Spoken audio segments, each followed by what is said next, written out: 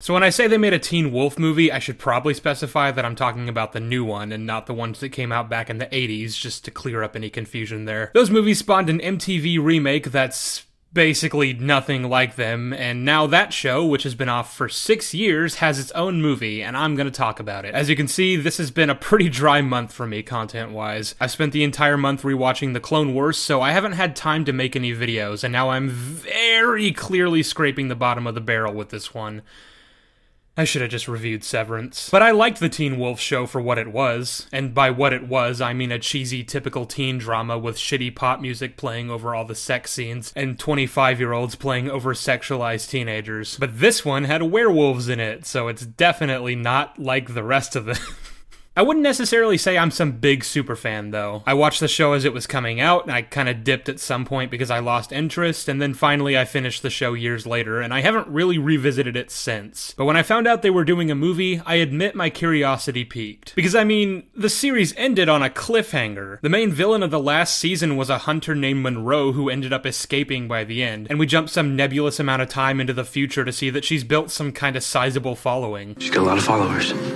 Like what, hundreds? Thousands.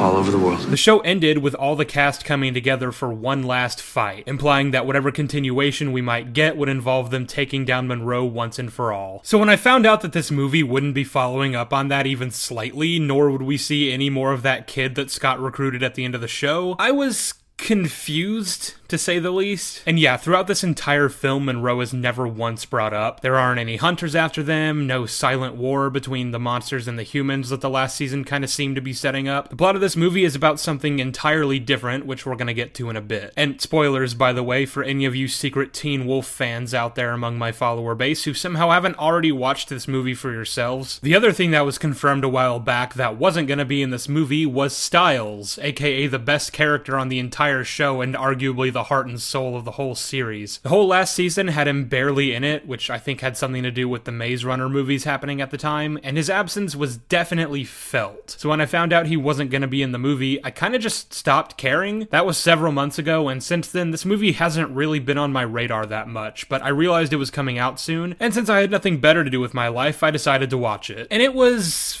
frustratingly bad. Don't get me wrong, Teen Wolf was never exactly peak television or anything. Again, I haven't watched it in years, but I have to imagine it would definitely not hold up all that well upon revisiting it. It had plenty of your bog standard world building problems, character problems, a severely bloated cast the further into the series we got, and all the other teen drama bullshit I already mentioned earlier. I'd honestly hesitate to call this show good outside of a couple of storylines. However, I think it would be safe to say that this movie is way way worse than anything the show ever did. And in a lot of ways, it's laughable. Like, there are several moments in this film where they're playing it 100% straight. I just could not take it seriously. The more of this there is, the less you can see.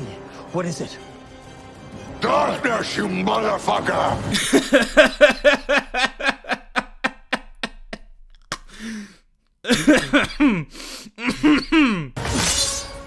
Remember who you are. no fucking way!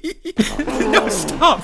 Stop, stop! It's stupid! It's so fucking stupid! Stop! To be fair, that's always been kind of a staple of Teen Wolf. It really likes to take itself seriously, but more often than not, the shit that's happening is just too funny, so I really won't give this movie too much flack for that. It comes with the territory. I'm an alpha now. What I cannot forgive this film for is the fact that it scrapped the entire plotline set up in the final season of this show just to reuse a villain who was already defeated and revive a character that was killed off in season 3. Yes, that's right. Allison is brought back to life by Scott, Lydia, and Malia by accident while they were trying to put her soul to rest because apparently it spent the last 15 years being trapped in limbo rather than moving on to the other side. Oh, yeah, it's been 15 ish years since the show, I guess or at least since Allison died, so maybe like 13 or 14 years. I'm not really clear on the timeline because Derek has a 15 year old son in this movie who was never a thing in the show, even though he should have been born around the same time Allison died. But this movie also brings back the Nogitsune, which without Stiles, I really don't see the point in doing. I mean, Allison was killed in the same arc, so I guess that's meant to be his connection to the main characters. But the thing that actually made him cool and interesting as a villain was Stiles. It was the fact that he wasn't just some physical creature that the characters could defeat by wolfing out and beating him up. He was a foil to the smartest character on the show. He drove him to mental anguish. So if you're gonna bring back an old villain and you're not gonna continue the open plot line at the end of season 6, then you should have gone with someone else because without Stiles, this guy really isn't that compelling. I went ahead and rewatched that story arc after finishing the movie just to refresh myself on all the details I was fuzzy on, and it actually kind of made me hate this movie even more because it's hands down the best storyline on the entire show and has some of the most interesting lore building mythology. The Oni are a really cool threat to the characters, and in the movie, they're mostly just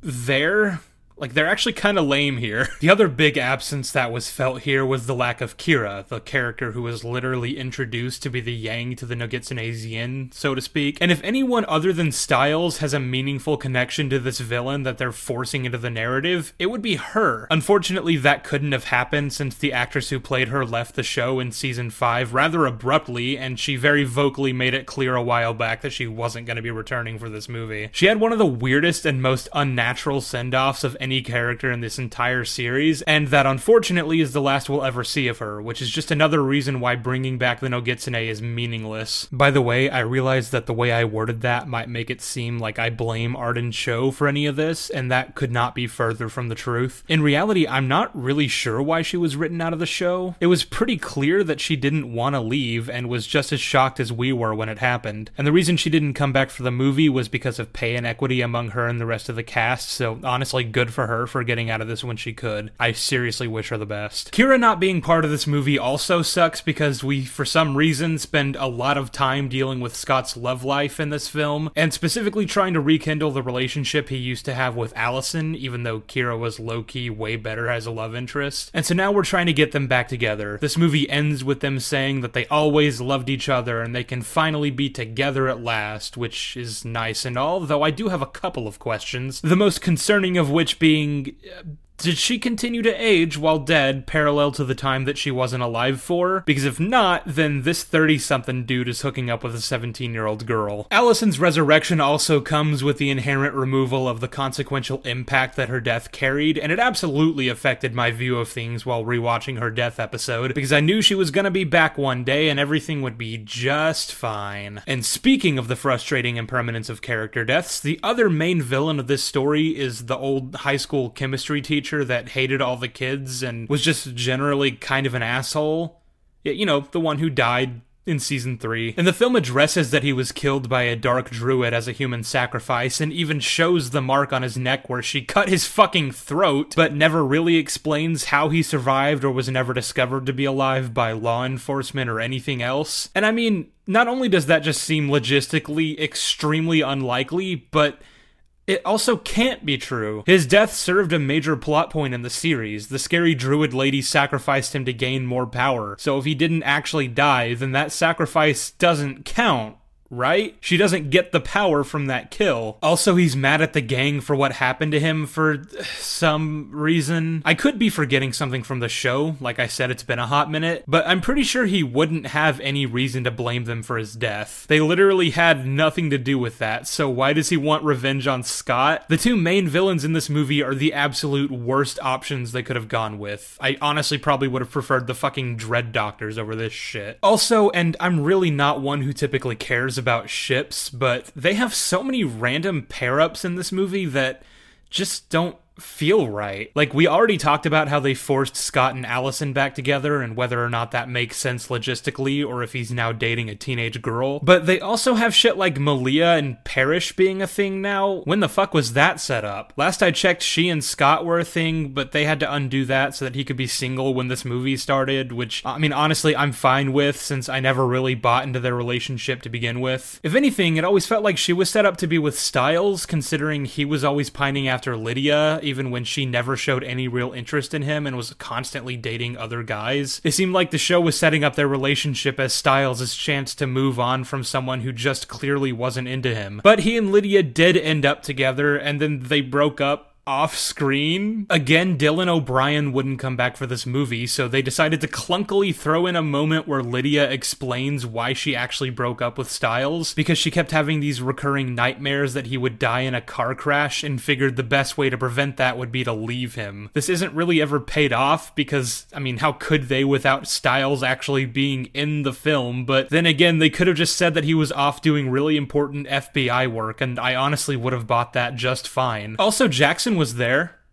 I mean, that's all I can really say about him considering he did nothing but complain the entire movie and was just generally unhelpful until the very end. So that's actually to touch on that a bit. This movie definitely did have that problem that I started seeing a lot in the later seasons of the show, which is that there are just way too many characters for all of them to have something meaningful to contribute. And considering how most of the characters weren't even in Beacon Hills when the plot got started, that would have been the perfect excuse to just not include some of them. The movie opens up in Japan as we find Liam working in a restaurant that's actually a secret supernatural hangout. I guess. And he has a kitsune girlfriend that we've never met before, and they're accosted by the evil chemistry teacher whose name I refuse to learn, who kickstarts the plot by attacking them and freeing the Nogitsune. And then they don't show up again until like halfway through the movie, and they barely do anything. I kind of expected these characters to play a significant role in the story, considering they were the main focus of the opening scene, and one of them was a main character for like half the show, but nah, whatever. I don't really have anything more to say. This movie just kind of agitated me more than I was expecting it to, so I had to get some of it off my chest. But it has so many more problems that it would take a much longer and more thorough video to break down, and I frankly don't have the time nor the energy to do so. Thankfully, I don't have to, because Friendly Space Ninja already made a pretty comprehensive video talking about why this movie is broken on every single level. So I'll link it down in the description and you can go check it out if you want. Let them know Papa Sheev sent ya. But yeah, fuck this movie. It's stupid and I hate it. Uh,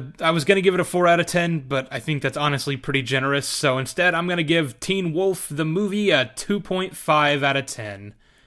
G- goodbye.